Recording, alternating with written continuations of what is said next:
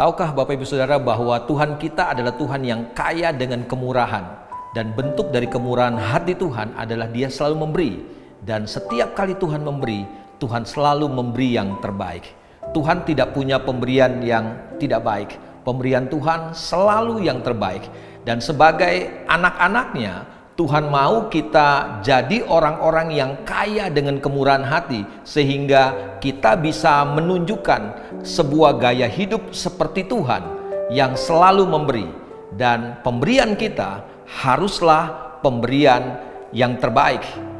Persoalan kebanyakan di antara kita adalah kita ingin memberi tetapi kita butuh momen yang tepat, kita butuh waktu yang tepat, kita butuh keadaan yang tepat.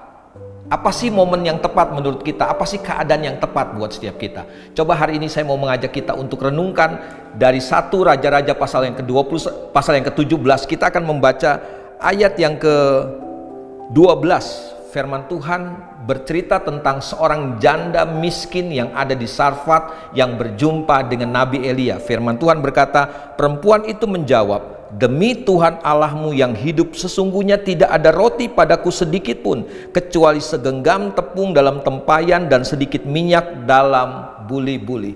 Seorang janda yang miskin cuma punya segenggam tepung, cuma punya minyak sedikit dalam buli-buli.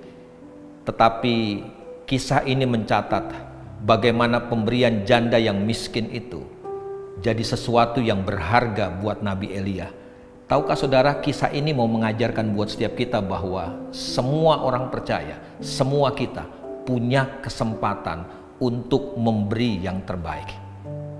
Memberi yang terbaik nggak butuh momen yang tepat. Memberi yang terbaik nggak butuh kesempatan yang tepat.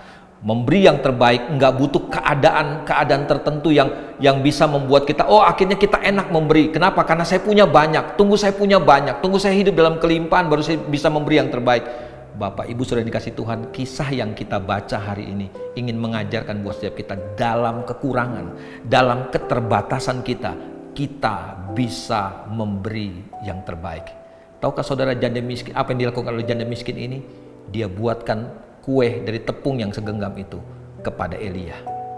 Dia berpikir bahwa setelah dia memberikan tepung itu, kue itu, maka dia dan anaknya kemudian akan mati. Tapi janda dan anak ini tidak pernah mati. Selama musim kemarau, Tuhan pelihara mereka. Kenapa? Karena janda ini tahu memberi pemberian yang terbaik. Bapak Ibu saudara kasih Tuhan, apa pun keadaan hari kita hari ini, percayalah begini, Tuhan mau kita jadi orang-orang yang kaya dengan kemurahan hati. Mulailah memberi, bukan cuma sekedar memberi, tetapi memberi yang terbaik. Sehingga apa yang kita lakukan bisa menggambarkan Tuhan yang ada dalam hidup setiap kita. Ketika kita memberi, Percayalah, orang melihat ada Tuhan dalam kehidupan kita.